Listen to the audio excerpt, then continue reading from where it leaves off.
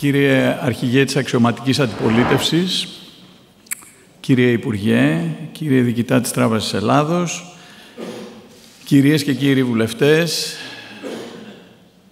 κύριε Πρόεδρε του Επαγγελματικού Επιμελητηρίου, επιτρέψτε μου να μην συνεχίσω όλη την προσφώνηση που τόσο καλά έκανε η κυρία Αντωνάκη, αλλά να σας ευχαριστήσω θερμά όλους και όλες που μας θυμάτε σήμερα με την παρουσία σας. Να σημειώσω επίσης, κύριε Αρχηγέ της Αξιωματικής Αντιπολίτευσης, ότι μας τιμάτε με την παρουσία σας για 8η νομίζω φορά, το οποίο είναι πολύ σημαντικό για τον κλάδο μας.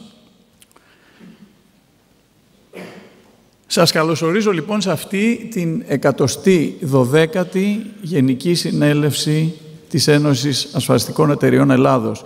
Και παρότι το βίντεο πήγαινε μόνο 100 χρόνια πίσω, θα σας πω ότι ο κλάδος μας προσφέρει και έχει προσφέρει και συνεχίζει να προσφέρει στην ελληνική κοινωνία για περίπου 180 χρόνια, σχεδόν από την ίδρυση του σύγχρονου ελληνικού κράτους.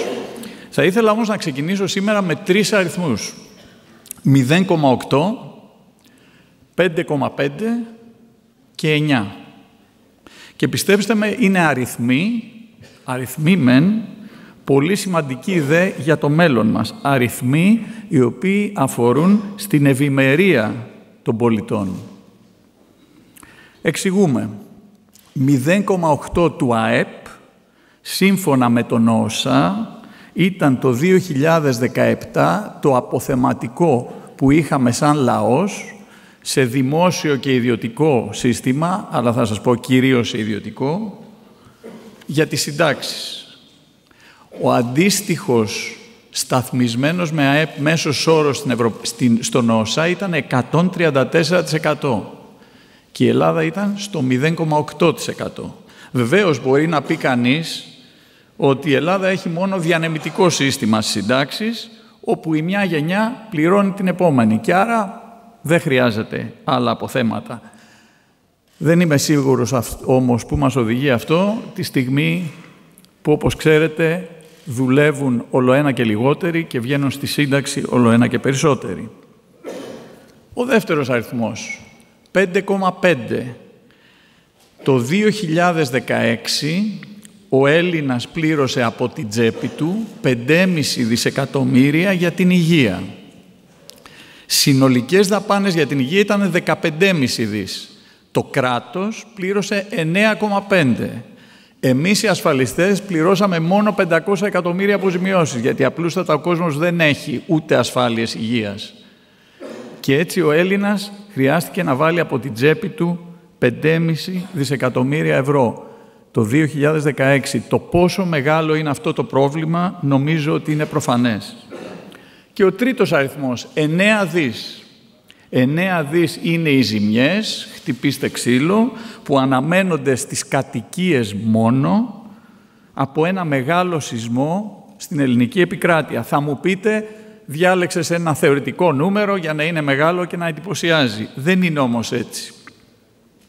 Το νούμερο αυτό, τα 9 δις, είναι ο σεισμός για τον οποίο αντασφαλιζόμαστε εμείς οι ασφαλιστικές εταιρείες στην Ελλάδα, πληρώνοντας πάρα πολλά εκατομμύρια κάθε χρόνο. Είναι ένα νούμερο δηλαδή που το παίρνουμε τόσο σοβαρά ώστε το πληρώνουμε. Λάβετε υπόψη όμως ότι μόλις 15% των κατοικιών στην Ελλάδα είναι ασφαλισμένες. Τι θα γίνει αν συμβεί ένα τέτοιο γεγονός; Κυρίες και κύριοι, είμαστε εμείς οι Έλληνες από τους πλέον ανασφάλιστους λαούς στον ανεπτυγμένο κόσμο. Γιατί όλα αυτά μέχρι τώρα τα περιμέναμε από το κράτος.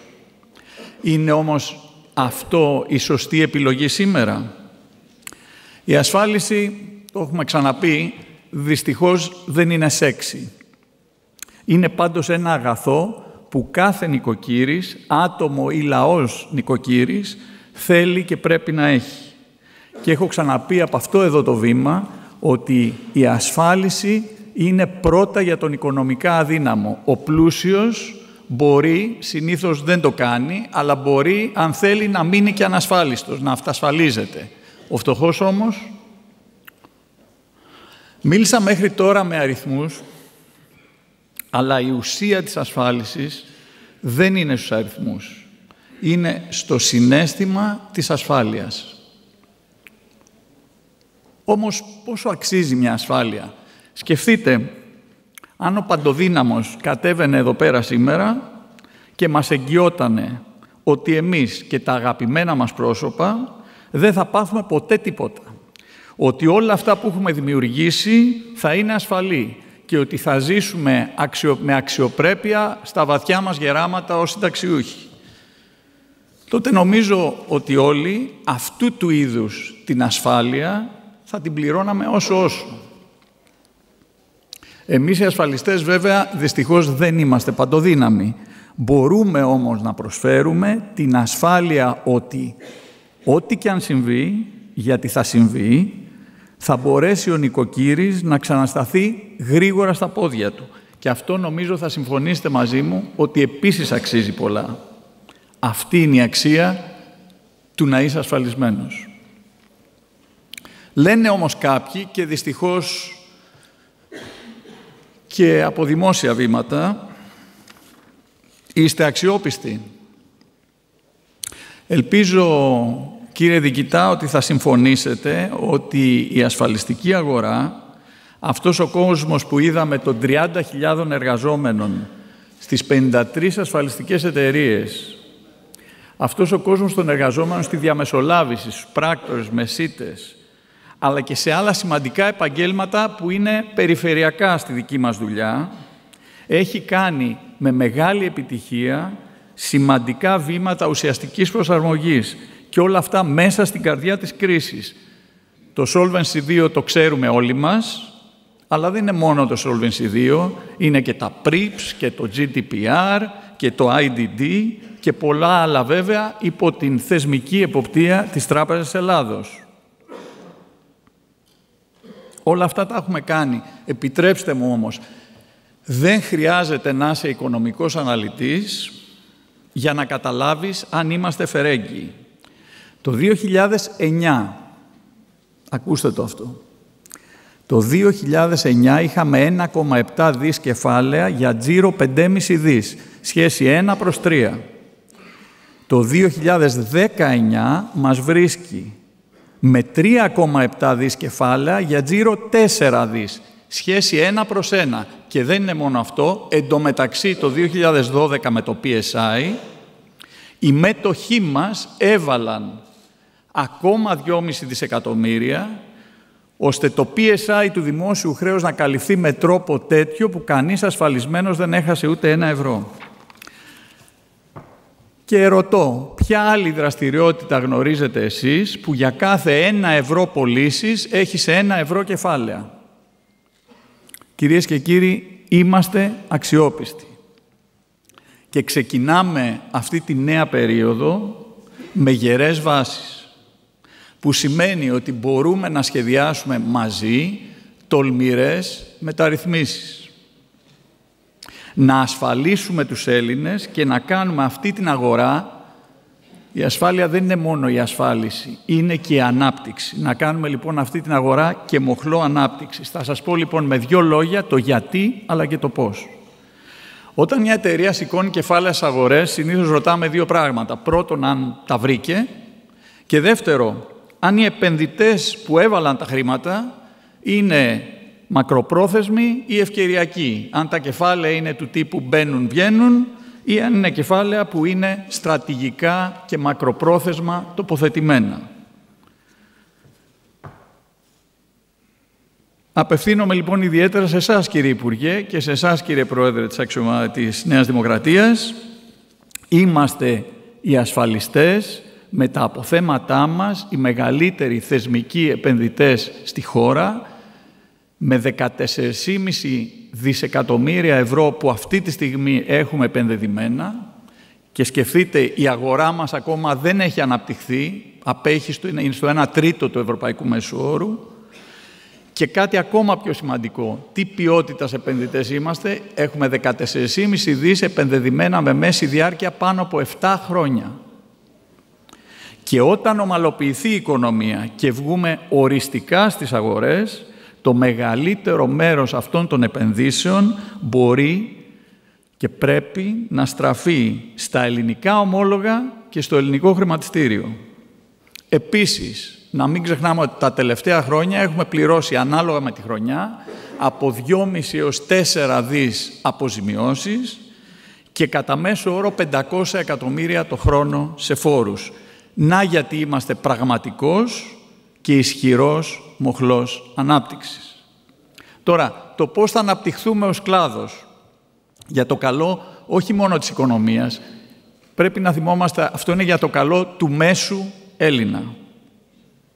Πρώτον, οι συντάξεις.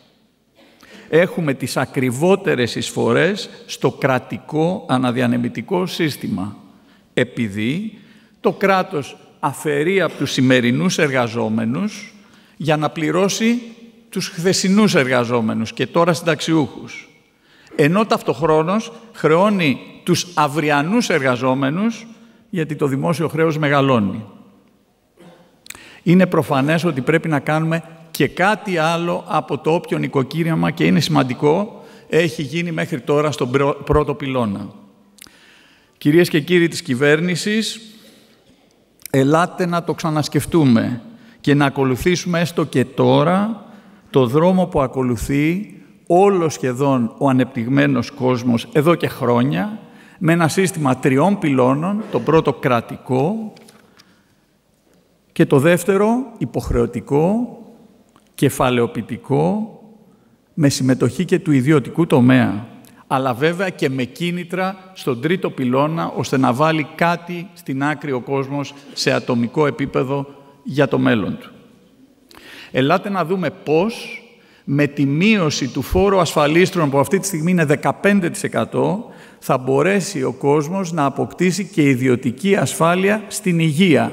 Κάτι που οι μελέτες μας δείχνουν είναι το ασφαλιστικό προϊόν με την πιο μεγάλη ζήτηση αυτή τη στιγμή στην αγορά. Ελάτε να δούμε πώς σε συνεργασία με το δημόσιο μπορούμε να φτιάξουμε φτηνές ασφάλειες που θα δίνουν πρόσβαση σε ειδικές αναβαθμισμένες μονάδες των δημόσιων νοσοκομείων, προς όφελος και του κράτους και του κόσμου.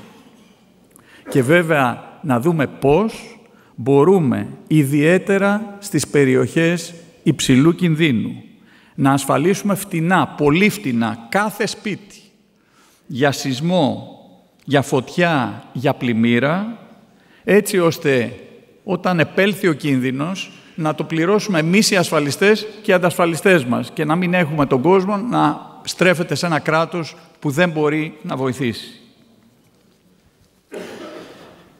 Κυρίες και κύριοι, εμείς οι ασφαλιστές βλέπουμε το άτομο γιατί είμαστε κοντά του στα δύσκολα. Το ζήσαμε πρόσφατα και στη μάνδρα και στο μάτι. Σε αυτή την κομβική στιγμή για την ελληνική οικονομία και κοινωνία, τη στιγμή που, που με πολλές θυσίες, μετά από δέκα χρόνια, προσπαθούμε να ορθοποδήσουμε ξανά, πιστεύω προς όσους ασφαλιστές έχουμε δύο αποστολές. Πρώτον, με αξιοπιστία και σοβαρότητα να συνεχίσουμε να επικοινωνούμε το μήνυμα της αξίας της ασφάλισης στον κόσμο εκεί έξω που ξαναχτίζει το μέλλον του και δεύτερο και πολύ σημαντικό, πρέπει ως αγορά να δουλέψουμε μαζί με την πολιτεία. Μαζί με την πολιτεία. Σαν συνεργάτες και όχι όπως δυστυχώς κάποιες φορές μας βλέπει σαν ανταγωνιστές, ώστε να μπουν οι βάσεις στις συντάξεις, στην υγεία, στην περιουσία, πάνω στις οποίες θα στηριχτεί η ανάπτυξη. Έχουμε πολύ και δύσκολη δουλειά μπροστά μας. Κάποια από αυτά τα πράγματα παίρνουν πολύ χρόνο. Πρέπει και η αγορά μας και η πολιτεία να ξεκινήσουμε τώρα. Από την πλευρά μας, οι ασφαλιστές, είμαστε εδώ, πρόθυμοι και έτοιμοι. Ας αρχίσουμε σήμερα τη δουλειά. Σας ευχαριστώ.